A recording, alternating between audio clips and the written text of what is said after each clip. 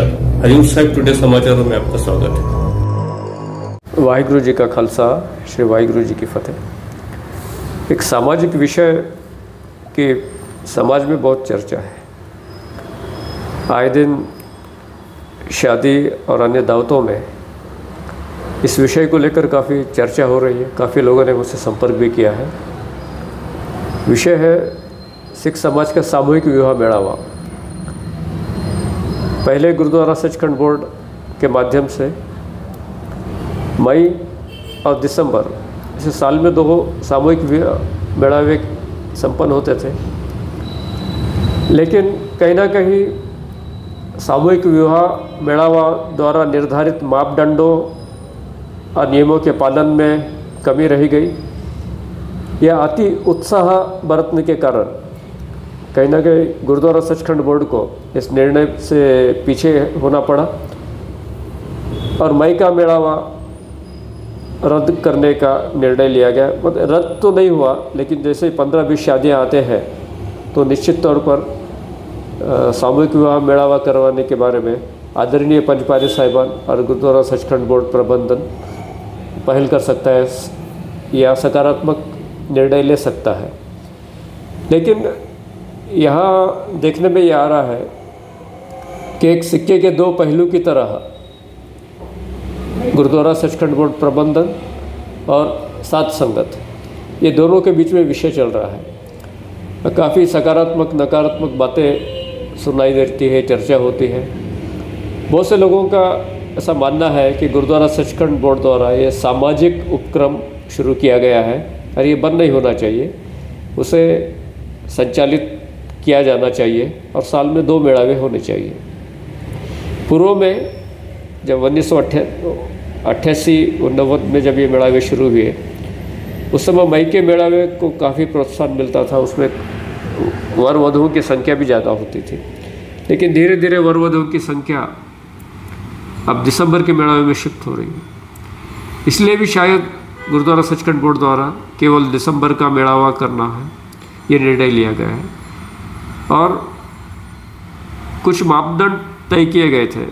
जैसा सामूहिक विवाह मेड़ावा शुरू करने के पीछे मूल मकसद था, दहेज प्रथा का विरोध, अनावश्यक खर्चों को तिलांजलि और सात संगत की एकाग्रता एक तरफा यानी सात संगत में एकत्र आना चाहिए। दक्षिण भारतीय, सिखों का मेलजोल के लिए मेड़ावा एक बहुत बड़ा माध्यम है। इस मेड़ावे में लड़के लड़कियों की जो शादियाँ तो होते हैं, लेकिन नए रिश्ते भी जुड़ते हैं, सगे संबंधी मिलते हैं। जिनसे साल भर मुलाकात ना हो, वो भी वहाँ पर मेड़ावे में, गुरु महाराज की हाजिरी में मिलते हैं। तो इस प्रकार से सात संगत के मिलने का स्थान भी मेड़ावा एक निश्चित है, उसकी एक तारीख होती है। लेकिन जो मापदंडों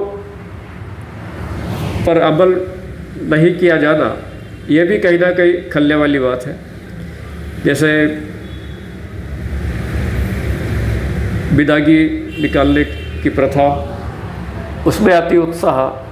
सर डीजे का बहुत ज़्यादा उपयोग। बड़ी बड़ी दावतें, रिसेप्शन की दावतें, ये वगैरह वगैरह सब चर्चा में है। लेकिन कहीं ना कहीं कुछ दावतें तो समाज के लिए कंपलसरी है।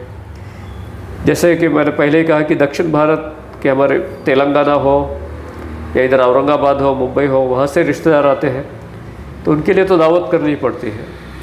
ऐसे तमाम बातें चर्चा के दौरान सामने आ रही है। बहुत से लोगों ने मुझसे भी चर्चा की है और कहा है कि इस विषय में पहल करें कि गुरुद्वारा सचखंड बोर्ड द्वारा सामूहिक विवाह मेड़ावा आयोजित होना चाहिए और इस मई में या मई के पहले अप्रैल में यदि मई में तिथि ना हो तो अप्रैल के अंतिम सप्ताह में ये मेड़ावा लिया जाना चाहिए। ऐसे सात संगत जी की इच्छा है। गुरुद्वारा सचखंड बोर्ड द्वारा शुरू किया गया मेड़ावा ये एक प्रकार से सात संगत जी के लिए बहुत बड़ी सहूलियत है। बहुत बड़ी सहूलियत इसलिए है कि इसमें मैन पावर बच जाता है। यदि हम घर पर शादी करते हैं तो तरह तरह की दावतें करनी पड़ती हैं। वो दावतों का जो खर्च है, वो भी लाखों में जाता है। डेकोरेशन का खर्चा है, वो भी लाखों में जाता है। तो वो सब बचाने के लिए सामूहिक विवाह मेड़ावा को एक विकल्प माना गया। इससे लंगर का खर्चा जो है, गुरुद्वारा सचखंड बोर्ड वहन करता है तो उससे दावतों का खर्चा भी बच जाता है। लेकिन उसके बावजूद भी दावतें होती हैं, और कुछ करना भी पड़ता है, ऐसा भी माना जा रहा है। तो शादी के पहले पाठ सब समाप्ति की दावत होती है। फिर सगाई की दावत होती है, रजिगा की दावत होती है लावा फेरी की दावत होती है। तो मेड़ावे में तो सगाई, रजेगा और लावा फेरी की दावत गुरुद्वारा सचखंड बोर्ड द्वारा किया जाता है। दो समय का नाश्ता दिया जाता है, चाय दी जाती है। और बहुत ही अच्छे ढंग से गुरु महाराज की हाजिरी में इतनी बड़ी तादाद में संगत के सामने विवाह संपन्न होता है। संगत जो है मैन पावर बचाने के लिए सहूलियत पाने के लिए आती है। लेकिन दूसरे दाव तो जो है उसके ऊपर बहुत ज़्यादा खर्च हो रहा है, ऐसा लोगों का ही कहना है। तो उसमें कहीं ना कहीं कमी आनी चाहिए। बीच में पिछले साल ये कोशिश भी की गई थी कि कुछ शपथ दिलाई जाए और लोगों को राज़ी करवाया जाए कि वो मापदंडों का पालन करें। पर कहीं ना कहीं उन मापदंडों की उल्लंघना हुई है वो शपथ की उल्लंघना हुई है, ये भी देखा गया है। तो दिसंबर का तो मेड़ावा हो गया, लेकिन मई का मेड़ावे पर एक प्रश्न चिन्ह लगा हुआ है कि वो होगा या नहीं होगा। कुछ लोगों ने आदरणीय पंच प्यारे साहिबान से भी प्रार्थना की है कि मेड़ावा शुरू हो। उन्होंने भी कहा है कि ठीक है, इस बारे में सकारात्मक विचार, सोचते हैं, जैसे दस पंद्रह नाम आते हैं। तो हो सकता है कि गुरुद्वारा बोर्ड से प्रबंधन से शुरू करने के लिए कहें, और उस समय कोई नाराज़गी की तो बात है नहीं। लेकिन कहीं ना कहीं जब दो कदम संगत को भी थोड़ा सा पीछे हटना चाहिए। कहीं ना कहीं जो गुंजाइश है, खर्च कम करने की, उसे कम करना चाहिए। अभी बाहर जो शादियाँ हो रहे हैं साल में मैं समझता हूँ सौ से ज़्यादा शादियाँ एक साल में हमारे पास होते हैं सिख समाज में। यदि मेड़ावा हुआ तो उसमें से तीस चालीस शादियाँ कम हो जाएगी। और इतने, एक शादी से तीन या चार दावत होती है। तो एक परिवार के लिए या एक सामान्य सिख व्यक्ति के लिए ये बहुत कठिन जा रहा है कि बार सारे दावतों में उपस्थित रहे। अगर उपस्थित ना हो तो नाराज़गी की बात आ जाती है। इस कारण बहुत से लोग अपना काम, व्यवसाय, नौकरी, उसको छुट्टी देकर इन कार्यक्रमों को अटेंड करते हैं। क्योंकि रिश्तेदारी की बात होती है।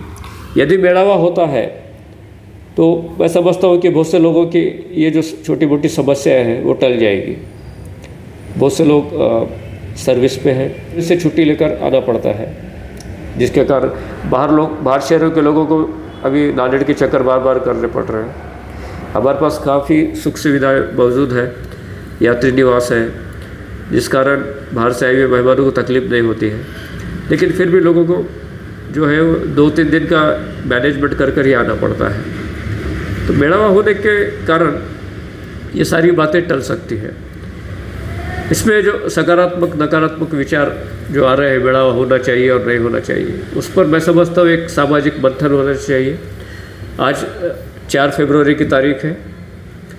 आज संयोगवश स्वर्गीय रंजित सिंह जी कामठेकर, उनकी जयंती है। पहला सामूहिक विवाह मेड़ावा शुरू किया था सिख समाज ने। उस समय पहली शादी उनकी हुई थी। और उसके बाद फिर ये सिलसिला शुरू हुआ था। सिख युवक सेवा संघ ने तीन बेड़ावे किए। उसके बाद गुरुद्वारा सचखंड बोर्ड ने ये स्वीकार किया कि वो गुरुद्वारा गुरुद्वारा बोर्ड के माध्यम से सामूहिक विवाह बढ़ावे करेंगे। और बहुत बड़े पैमाने पर अच्छे लेवल पर सामूहिक विवाह बढ़ावे किए जाते हैं। एक रिकॉर्ड है। इसलिए पैंतीस, छत्तीस सालों से ये निरंतर चल रहा है और हज़ारों लोगों की शादियाँ हुई है इस मेड़ा में। उसका एक मैं समझता हूँ गुरुद्वारा बोर्ड को एक एनालिसिस करके संगत के सामने रखना चाहिए कि कितने लोगों की शादियाँ हुई है और कितने लोगों का भला हुआ है।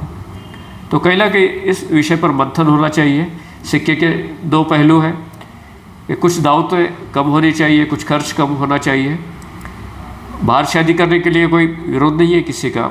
जिसकी क्षमता है, वो कर सकते हैं। लेकिन जिनकी क्षमता नहीं है, जिनकी इनकम कम है, जो खर्च वहन नहीं कर सकते, उनके लिए बड़ी समस्या है अगर बढ़ावा ना हो तो। एक ही साल पर दिसंबर के बेड़ावे पर निर्भर रहना पड़ता है। तो हम सभी सात संगत की ये मांग है, आदरणीय पंच प्यारे साहिबों के चरणों में, और गुरुद्वारा बोर्ड प्रबंधन के समक्ष ये मांग प्रस्तुत करते हैं कि मई का मेड़ावा अवश्य होना चाहिए। यदि ये होता है तो कुछ ना कुछ समाज का फ़ायदा होगा। और एक सामाजिक उपक्रम जो गुरुद्वारा बोर्ड ने शुरू किया है, वो बंद नहीं होना चाहिए। हमारी धार्मिक संस्था है, सामाजिक संस्था है। और समाज का यदि उत्थान न होता हो तो फिर ऐसे संस्थाओं के कामकाज पर प्रश्न चिन्ह उठ जाता है। क्या ये प्रॉफिट एंड लॉस कंपनी तो नहीं है? ऐसे भी प्रश्न उठते हैं। इस कारण एक सामाजिक दायित्व हमारे समाज के बच्चे बच्चियों की शादियाँ उसमें होते हैं। तो कहीं ना कहीं नियमों में थोड़ी सी सहूलियत भी मिलनी चाहिए थोड़ी सी छूट भी मिलनी चाहिए। हाँ ये हो सकता है कि जैसा पहले भी आ, कुछ लोगों ने शादियाँ जो किए हैं बेड़ावे में उन्होंने किसी ने इक्यावन हज़ार रुपये किसी ने एक लाख रुपये गुरुद्वार गुरु घर में चढ़ाए हैं। तो वैसा कर सकते हैं। बेड़ावे की जहाँ फ़ीस सोलह सौ रुपये है वो उसे पाँच हज़ार तक बढ़ा सकते हैं। और जो गरीब है जो फ़ीस नहीं दे सकते हैं तो उनकी फ़ीस हम लोग भर सकते हैं। ऐसे बच्चे बच्चों की फ़ीस भर सकते हैं। या गुरुद्वारा बोर्ड के सामने वो परिस्थिति आई तो उनके फ़ीस में भी छूट हो सकती है। लेकिन अभी इस समय तो आर्थिक स्थिति सबकी सक्षम है।